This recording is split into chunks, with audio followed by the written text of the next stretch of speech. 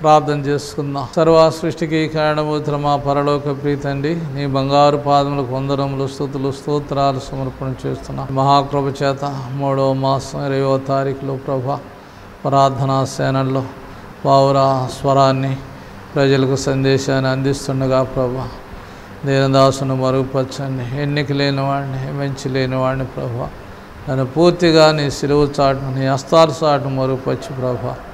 నీ వాక్య సందేశాన్ని ప్రజలకు అందించండి. ప్రజల్లో ప్రభా నీకు వందనాలు ప్రభా. ఏం వింటున్నాం ఏం నేర్చుకుంటున్నాం ఏం మార్చుకున్నామని ఆలోచన అవగాహన దయచేతండి భయంకరమైన దినాలు ఉన్నాం. కరోనా మహామారి దినాల్లో ఉన్నాం. అనేకులు కనబడకుండా వెళ్ళిపోతున్న దినాల్లో ఉన్నాం ప్రభా నీకు ఇదిగో నేను త్వరగా ఇదిగో నేను త్వరగా వస్తున్నానన్న దినాల్లో ఉన్నాం. సహాయం చేయండి. దినదిన సిద్ధపాట్లు దయచేయండి. ఈ పౌర స్వరాన్ని ప్రార్థనా సేనల్లో ద్వారా నీ ప్రజలకు నీ వాక్య సందేశాన్ని అందించమని దీన్ని పూర్తిగా మరుపొచ్చి మాట్లాడి మహిమ తెచ్చుకునమని ఏసు నామమున వేడుకొంచున్నాము తండ్రి. ఆమె దేవుని స్తోత్రాలు. ప్రియమైన ప్రార్థనా సేనల్లో దేవుని వాక్యాన్ని సందేశాన్ని వింటున్న ప్రజలారా శ్రోతలారా పెద్దలారా చిన్నలారా ఈ మాటలు ప్రభు మాటలని గమనించి గ్రహించాలని ప్రేమతో హెచ్చరిక చేస్తున్నాం. పౌర సందేశాన్ని పౌర స్వరాన్ని ప్రార్థన టీవీలో అందిస్తుండగా గమనించాలని గ్రహించాలని ప్రేమతో హెచ్చరి చేస్తున్నాను. యెషయా గ్రంథం యాభై మూడో అధ్యాయంలో మనం చూస్తే మేము తెలియచేసిన సమాచారం ఎవరు నమ్మెను?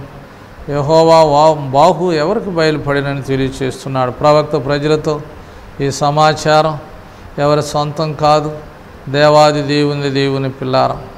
అదే ప్రవక్త ప్రారంభాధ్యాయులు అంటున్నాడు యహోవా మాట్లాడుతున్నాడు ఆకాశం ఆలకించండి భూమి సెవియగ్గుము నేను పిల్లల్ని పెంచి గొప్పవాని చేసిన నా మీద తిరుగుబాటు చేస్తున్నారు నా మాట వెనక వచ్చారని నా ఆలోచన గ్రహించుకొచ్చారని ప్రవక్త తెలియచేస్తున్నాడు. తిరుగుబాటు చేయడం ద్వారా నిత్యము మీరు కొట్టబడుతున్నారు నిత్యము గాయపరచబడుతున్నారు ఆ గాయములు పిండబడలేదు కట్టబడలేదని తెలియచేస్తున్నాడు. ప్రతి వాడు కూడా శిరస్సు నుండి సిరిపాలన వరకు అరికాలుమల నడినెత్తి వరకు పాపవ్యాధి కలిగి ఉన్నాడు దేవుని పిల్లలారా. పాపవ్యాధి నుండి విడిపించేది ప్రభు గనక మనం గమనించాలి గ్రహించాలి. దైవ సందేశాన్ని మనం వినుచుండగా నిర్లక్ష్యము అలక్ష్యము చేయకూడదు దేవుని పిల్లలారా. అక్కడ మూడు వచనంలో ఆయన మన పాప వ్యాధిని భరించరని మన వ్యసనాలన్నీ ఆయనే భరించరని వ్రాయబడింది. నాలుగు వచ్చంలో మనం చూస్తే అక్కడ ఏమని వ్రాయబడిందంటే నిశ్చయముగా ఆయన మన రోగాలన్నీ భరించను. ఎంత ఆశ్చర్యకరమైన మాట. మన రోగాలు ఎవరు భరిస్తారు? నీ సోదరి ఉండవచ్చు నీ బంధువు ఉండవచ్చు నా రోగాన్ని ఒక వారం రోజులు నువ్వు భరించంటే భరిస్తారా? నీ స్నేహితుడు ఉండవచ్చు నా రోగం నువ్వు భరించమంటే భరిస్తారా? భరించలేరు. ప్రవక్త నేషా గారి ద్వారా. నిశ్చయముగా ఆయన మన రోగములన్నీయును ఆయనే భరించను. మన రోగాలు ఆయన భరించటం. ఏంటని మనం ప్రశ్న వేసుకుంటే దేవుని పిల్లారా మానవుడు ప్రతివాడు ఒకటి శరీర వ్యాధి కలిగి ఉన్నాడు రెండవది పాప వ్యాధి కలిగి ఉన్నాడు. ఆ మాటను ప్రవక్త అయిన ఇర్మియా గారు మన హృదయం అన్నిటికంటే మోసకరమైనది ఇది ఘోరమైన వ్యాధి గలది. దీన్ని గ్రహించగలిగిన వారు ఎవరని తెలియచేస్తున్నాడు. దీన్ని గ్రహించగలిగిన వారు గ్రంథాన్ని చదివినప్పుడు గ్రంథంలో మాటలు వినుచున్నప్పుడు చెప్తున్న బోధన వినుచున్నప్పుడు గ్రహించగలం కానీ లేకపోతే మన హృదయ వ్యాధిని పాప వ్యాధిని గ్రహించలేరు దేవుని పిల్లార. పాప వ్యాధిని మనలో నుండి తొలగించినప్పుడు పరిశుద్ధాత్ముడు మనలో నివాసం చేస్తాడు. పరిశుద్ధాత్మతో మన సహవాసం చేస్తాం. మనలో ఉన్న ప్రతి పాపం కూడా తొలిపోద్ది ప్రతి శాపం తొలిపోదు ప్రతి అవిధేయత తొలిపోతుంది క్రీస్తు యేసు కలిని మంచి మనసు మనం కలిగి ఉంటాం. మాటలో మంచి చూపులో మంచి చేతలో మంచి నడకలో మంచి పడకలో మంచి ప్రవర్తన అంతా మంచి ఒక మంచి కుమారుడయ్యాడు. లేక ఒక మంచి కుమార్తె అయింది. పూర్వదినాల్లో ఇలా లేరు కదా. ఎలా ఈ మంచితనం ఈ మనిషిలోకి వచ్చిందంటే క్రీస్తు యేసు తనలోనికి వచ్చడం ద్వారా వ్యక్తి ఒక మంచి వ్యక్తి కాగలుగుతున్నాడు దేవుని పిల్ల పాపను విడుదల పొందుతున్నాడు. అందుకని ప్రవక్త అనేక రీతులుగా హెచ్చరి చేస్తున్నాడు. మన అతిక్రమ క్రియలను బట్టి ఐదు వచనంలో ఆయన నలగగొట్టబడెను. ఆయన పొందిన దెబ్బల చేత మనకు స్వస్థత కలుగుతున్నది ఎంత ఆశ్చర్యమైన మాట. ఎంత ఆశ్చర్యమైన మాట. దెబ్బలు ఆయన స్వస్థత మనది. ఇలా ఎవరు భరించగలరు దెబ్బలు? నా కొరకు మరొకరు దెబ్బలు భరించగలరా? ఆ దెబ్బలు కూడా సామాన్యమైనవి కాదు దేవుని పిల్లారా. కొరడా దెబ్బలు.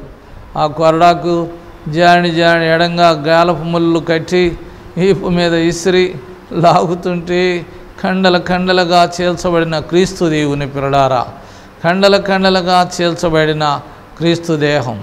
కారణం ఖండంతరాల్లో ఉన్న ప్రజలందరూ కూడా రక్షణ పొందాలని దేవుని యొక్క ఉద్దేశము. దేవుని యొక్క చిత్తము దేవుని యొక్క అభిష్టం.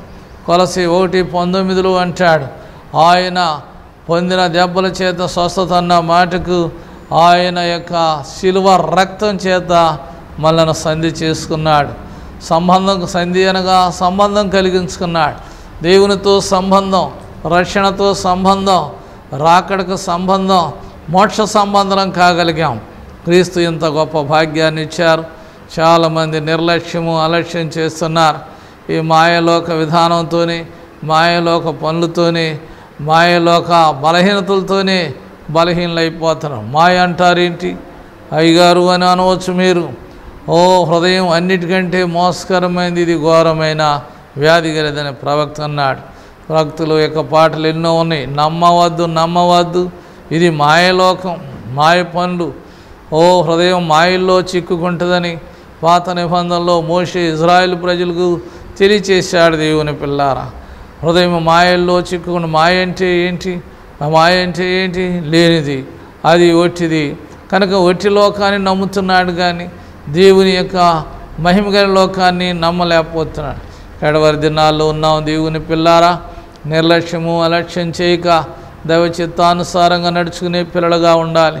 ఆ యశ గ్రంథములు యాభై మూడు అధ్యాయం అంతా క్రీస్తు శ్రమను గూర్చి మనకు కనబడుతుంది. క్రీస్తు బాధల గూర్చి మనకు కనబడుతుంది.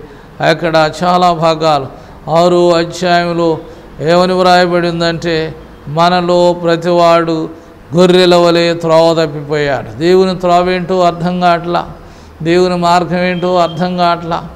దానికి ఆ ప్రరిసావనగా ప్ర ఆ ప్రసంగి చెప్పాడు ఊరికి పోతురావని ఎరిగిన వారై బుద్ధిహీనలో తమ ప్రయాసం చేత ఓ హయాసపడుతున్నారు హయాసపడుతున్నారు. ఏ ఊరికి వెళ్ళాలో ఏ పట్టణం వెళ్ళాలో ఏ పరలోకం వెళ్ళాలో ఆలోచన లేకుండా అవగాహన లేకోకుండా ఎంతో ప్రయాసపడుతున్నారు. ప్రయాసపడే వారిని ప్రభు ఎంత చక్కని పిలి పిలిచాడు. ప్రయాసపడి భారం మోస్తున్న సమస్తమైన వారులారా నా దగ్గరకు రండి నేను మీకు విశ్రాంతిని కలుగు చేస్తానన్నాడు రకరకాల ప్రయాసాలతో రకరకాల భారాలతో మనుషులు సతమతమవుతున్నారు కానీ ఆ యొక్క ప్రయాసను విడుదల పొందలేకపోతున్నారు. రకరకాల ప్రయాసాలు ప్రయాసాలు అనేవి ఎన్ని ఉన్నవి? ఎన్ని ఉన్నవి? కుటుంబ ప్రయాసాలు. ఏవో కుటుంబ భారాలు బిడ్డల భారాలు విద్య భారాలు ఉద్యోగ భారాలు వ్యవసాయ భారాలు వ్యాపార భారాలు ఎన్నెన్ని ఈ భారాలతోనే సతమతం అవుతున్నాడు కానీ పాపభారముని విడుదల పొందలేకపోతున్నాడు ప్రేమతో పిలుస్తున్నాడు ప్రభు. నిర్లక్ష్యము అలక్ష్యము చేయకూడదు దేవుని పిల్లారా. అక్కడ ఆరు ఏమి వ్రాయబడి ఉందంటే నిశ్చయముగా మనమందరము గొర్రెల వలె త్రోవ తప్పిపోతిమి. ఆయన గొర్రె పిల్లగా ఈ లోకానికి వచ్చి తావు తన త్రోవలో నడిపించడానికి లోక పాప భారమును మోసుకొని పోచున్న దేవుని గొర్రె పిల్ల. ఎందుకు తప్పిపోతున్నారని ప్రశ్న వేసుకుని పరిశీలన చేస్తే మనలో ప్రతివాడు తనకిష్టమైన త్రోవను వెళ్తున్నాడు కానీ దేవునికి ఇష్టమైన త్రోవలో నడవలేకపోతున్నాడు. దేవునికి ఇష్టమైన త్రోవలో నడవలేకపోతున్నాడు దేవుని పిల్లారా. అదేమంటే నా ఇష్టం అంటున్నాడు. తల్లిదండ్రులు చెప్తారు అది మంచిది కాదయ్యా అది మర్యాద కాదయ్యా దేవునికి మహిమ కాదయ్యా. మా కొంచెం నా మాట వినయ్యా అంటే నీ మాట వినాల్సిన పని లేదు. నా ఇష్టం నా ఇష్టం నా ఇష్టం. తల్లిదండ్రుల ఇష్టం లేకోకుండా చాలామంది బలహీనలు అయిపోయారు గురువు ఇష్టం లేకోకుండా పెద్దల ఇష్టం లేకుండా తమ సొంత ఇష్టాలతో వెళ్ళి చాలామంది నష్టపోయిన వారు కూడా చాలామంది ఉన్నారు. శ్రోతలారా ప్రార్థనాశాలలో దేవుని వాక్యం వింటున్న వారులారా సొంత ఇష్టం కాదు. దేవుని ఇష్టానికి మనం లోపడాలి అందుకే దోతలు చక్కని పాట పాడి మాటలు తెలియజేశారు.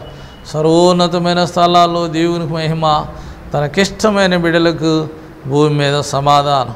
తనకైనా ఇష్టమైన బిడలకు సమాధానం కలిగించే క్రీస్తు తనకిష్టంగా ఉంటే సమాధానకరంగా ఇంటిలో సమాధానం బిడ్డల్లో సమాధానం కుటుంబంలో సమాధానం స్నేహితులతో సమాధానం బంధువర్గంతో సమాధానం. సమాధాన క్రీస్తు మనలో నివాసం చేస్తాడు దేవుని పిల్లారా. ఈ భయంకరమైన దినాల్లో తన ఇష్టం అనగా మన ఇష్టం మీద వెళితే చాలా నష్టపోతాం. దేవుడు యోనా ప్రవక్తనన్నాడు నేనేమి వెళ్ళయ్యా దేవుని ఇష్ట ప్రకారం వెళ్ళి నా సువార్తను ప్రకటించయ్యా. ప్రజలు చాలా బలహీనులుగా ఉన్నారయ్యా.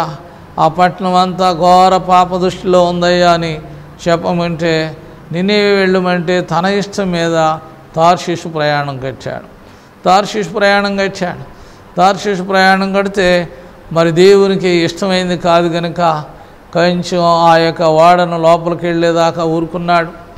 ఊరుకొని పెద్ద గాలి పెద్ద తుఫాను దేవుడే రేపాడని అయోనా గ్రంథం ఒకటో అధ్యాయం ఐదు ఆరు వచనంలో వ్రాయబడింది దేవుని పిల్లారా ఆ పెద్ద తుఫాను దేవుడే రేపాడు.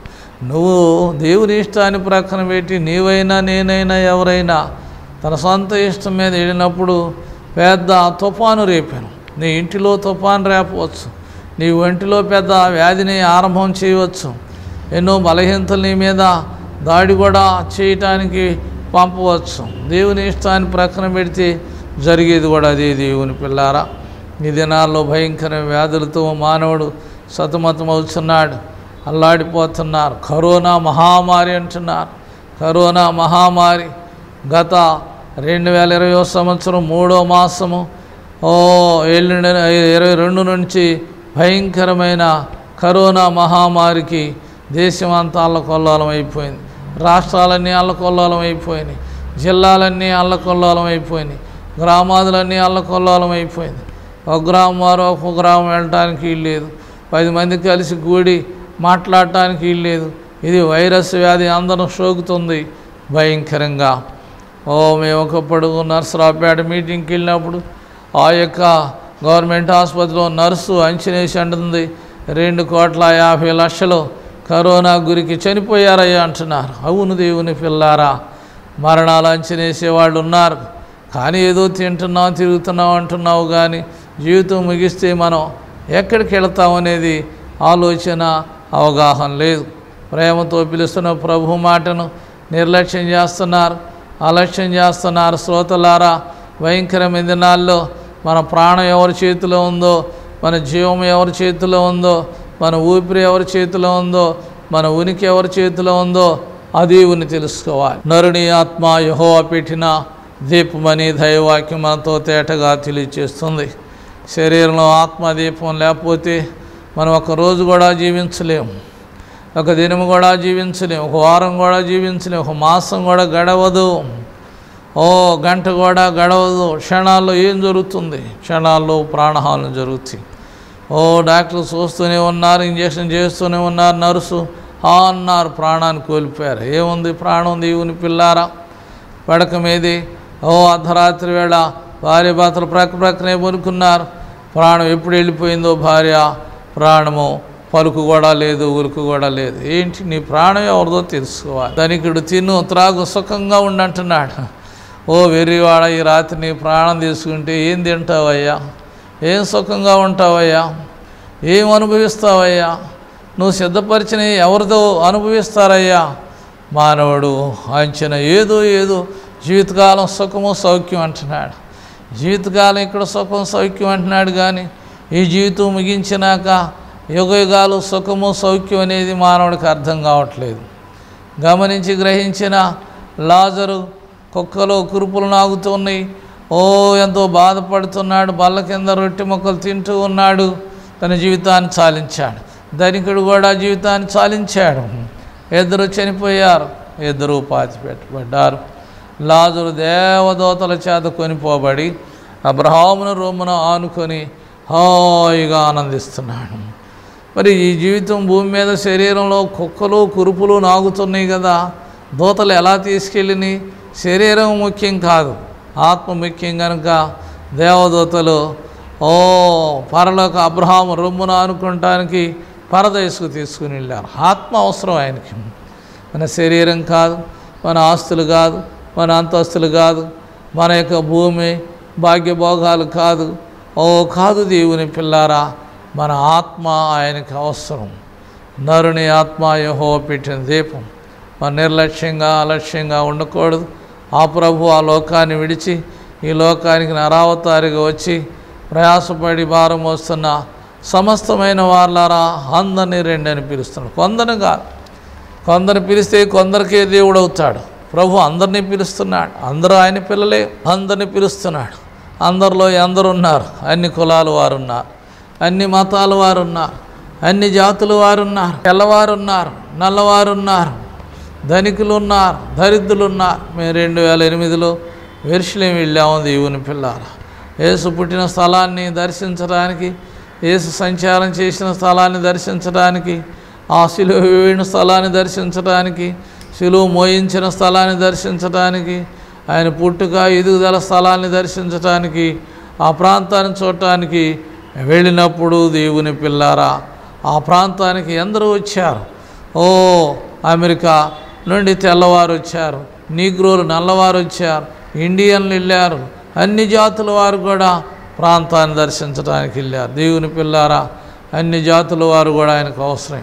పరలోకంలో ఏ జాతి వారు పరలోకం వస్తారంటానికి లేదు జాతి భేదము కుల భేదము మత భేదం వృత్తి భేదాలు ఏమీ లేవు. రంగు భేదాలు ఏమీ లేవు. రక్షణే ఆయనకు కావలసింది.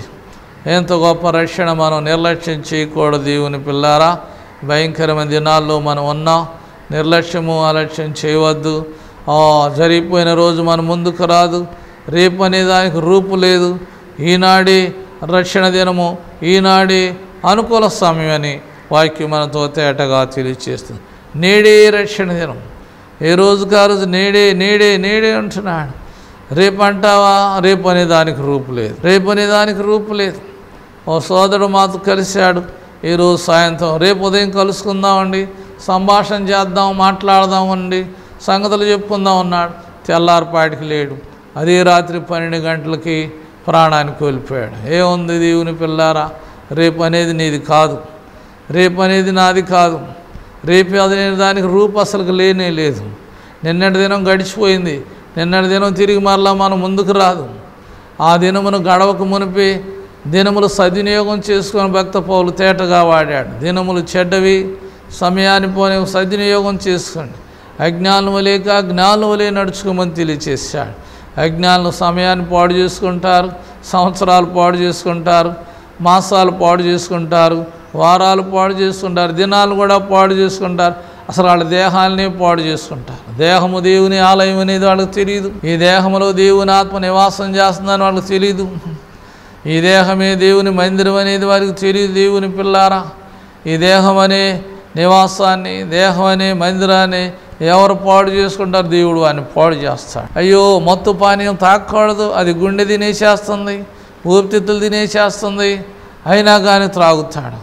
గుట్టకాలు తినకూడదు అది కూడా గుండెకు నష్టము అవయవాలకు నష్టం.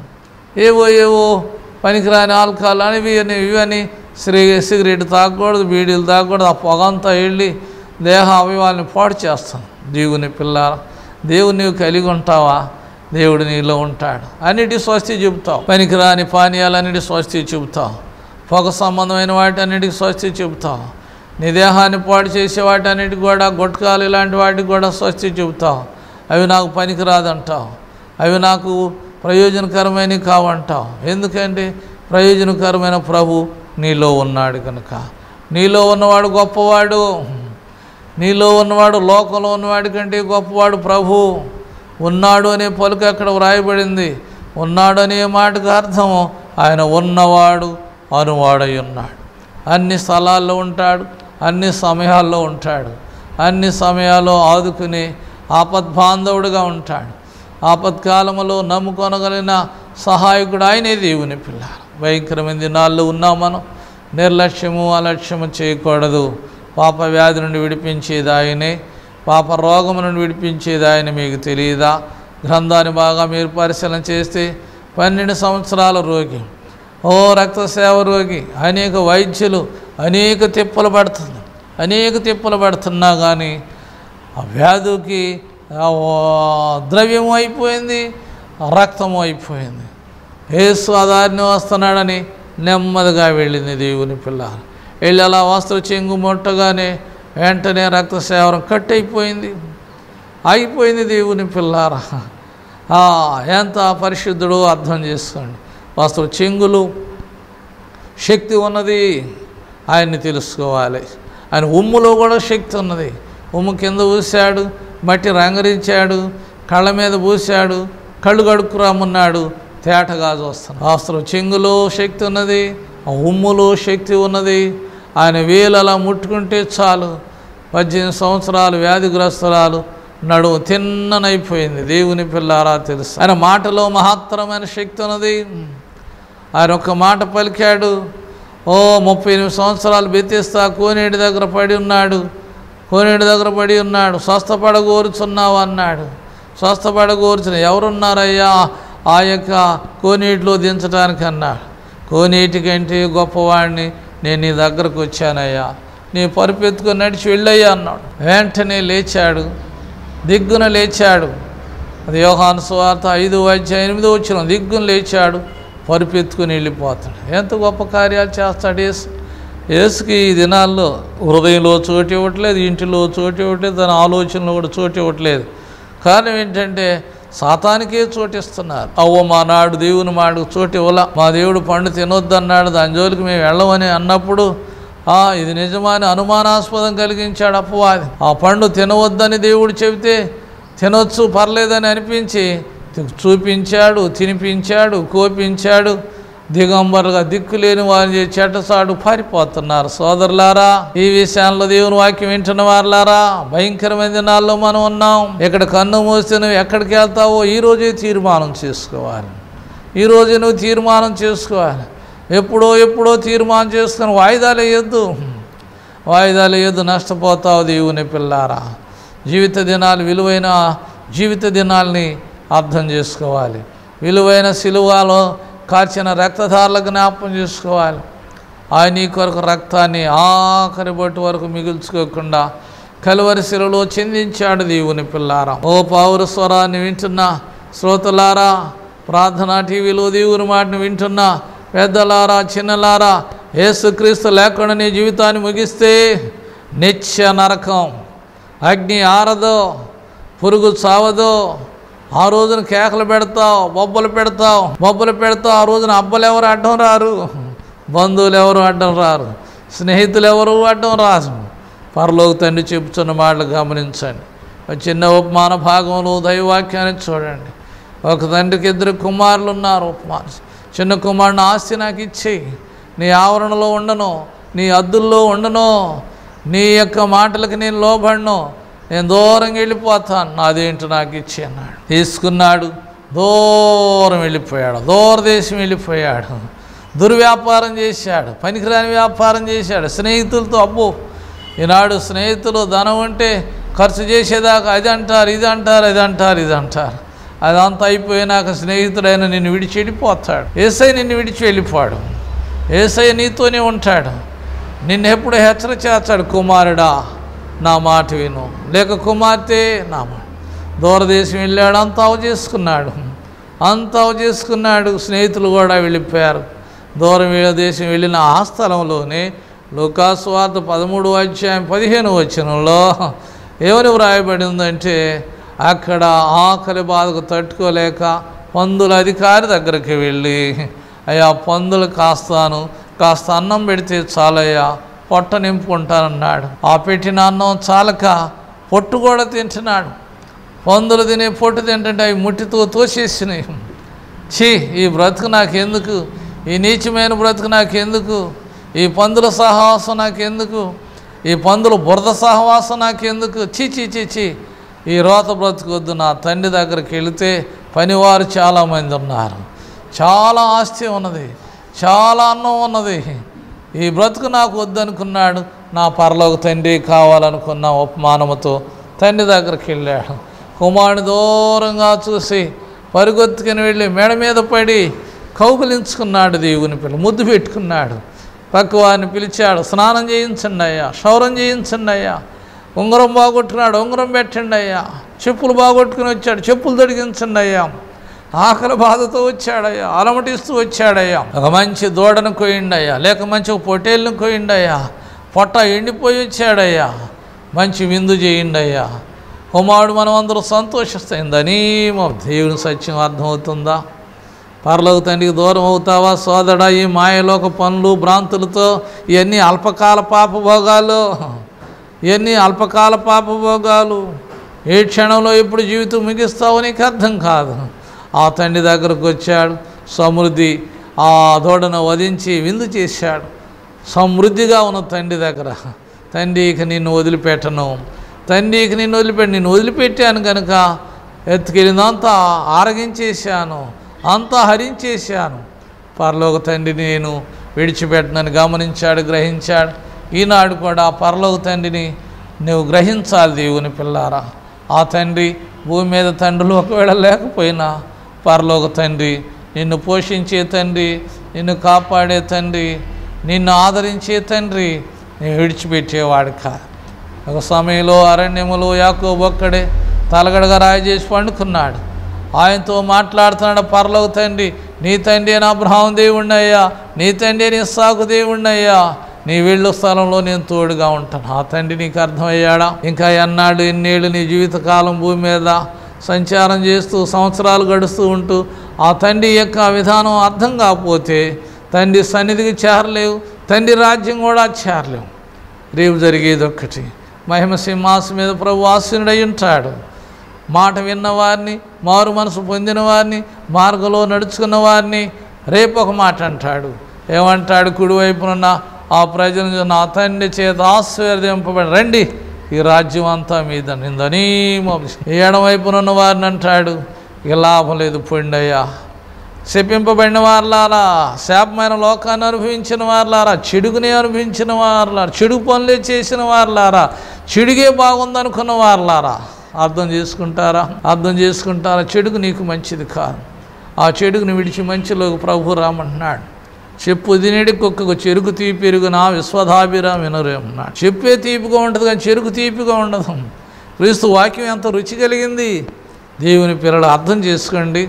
ప్రార్థనా సేనలో దేవుని మాటలు వింటున్న వారులారా. ఓ యొక్క పౌరస్వరము సందేశాన్ని వింటున్న వారులారా. కాలం నీది కాదు. ఎంతోమంది కాలగర్భంలో కలిసిపోయారు. కట్టిల్లో కలిసిపోయి కాలిపోయి మసి అయిపోయి నుసి అయిపోయి రూపాలే లేకుండా పోయినవి. కొందరు మట్టిలోకి వెళ్ళి కుళ్ళిపోయి పురుగులు పెట్టారు. ఈనాడే ఈరోజే రక్షణ దినము. అనుకూల సమయమని అని నీవు రక్షణ పొందితే బాప్తీసం పొందితే ప్రయాణం చేస్తున్నప్పుడు ఆ యొక్క వ్యక్తి మరి యొక్క నపంసకుడు రథం మీద చదువుతున్న రక్షణ కూర్చుని వినిపించాడు. ఈ నీళ్ళు చాలు బాప్తీసం చేయమన్నాడు. సంతోషంగా వెళ్ళిపోయాడు. అయ్యలా రక్షణ నేనేం చేయాలన్నాడు. ఆ రాత్రి రాత్రి రక్షణ పొందాడు. ఎంత గొప్ప రక్షణ నిర్లక్ష్యం చేయమాకండి. ఈ జీవితం ముగించినాక నిత్య రాజ్యంలో యుగ యుగాలు మనం ఉంటాం.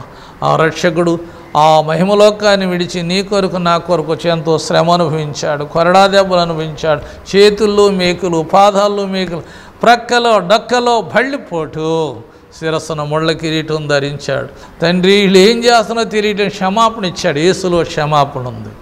ఏసులో రక్షణ ఉంది. యేసులో రాజ్య భాగ్యము భోగము వైభవం ఉంది. అట్టి పిల్లలుగా జీవించాలని ప్రేమతో ఈ సందేశాన్ని అందించి ముగిస్తున్నాను. ప్రభు తన మాటలు మన ఎనికిడిలో దీవించునుగాక ఆమె చిన్న ప్రాంతగిలి మా తండ్రి బంగారు పాదాలు కొందన. ఆ బంగారు లోకాన్ని విడిచి మానవ లోకానికి వచ్చి పాపలోకానికి వచ్చి పాపుల మధ్యకు వచ్చి నీచుల మధ్యకు వచ్చి నీతి వాక్యాన్ని బోధించిన ఏసయ్య అవే మాటలు ప్రజలకు అందిస్తుండగా నిర్లక్ష్యం చేయకుండా రక్షణ పొందిన వారు త్వరగా రక్షణ పొంది ఆ రాజ్యం కొరకు జీవించే జీవితాలు ప్రతి ఒక్కరు దయచేయండి. అయ్యా వారి యొక్క శరీరంలో వ్యాధిగ్రస్తులుగా ఉంటే ఆరోగ్యం దయచేయండి. రక్షణ లేని వారు రక్షణ దయచేయండి. స్వస్థత లేని వారు స్వస్థత దయచేయండి. కుటుంబాలు అశాంతితోనైనా అయా సమస్యలతో సంసారాలు పాడైపోతున్నాయి. ఆ సంసారాలకి సంతోష భాగ్యాన్ని దయచేసి మీరుంటే యేసు ఉన్న వారి గృహాలు ఆనంద నిలయాలుగా ఆశ్రద నిలయాలుగా ఉంటే అటు కృపాంధ్రకు దైత్యమని విన్న మాటలు విడిచిపెట్టకుండా హృదయంలో ముద్రించుకొని భద్రపరచుకొని నీ రాజ్యం కొరకు జీవించే జీవితాలు అందరూ దయచేయమని ఏసునామను వేడుకొంచున్నాము తండ్రి. ఆమె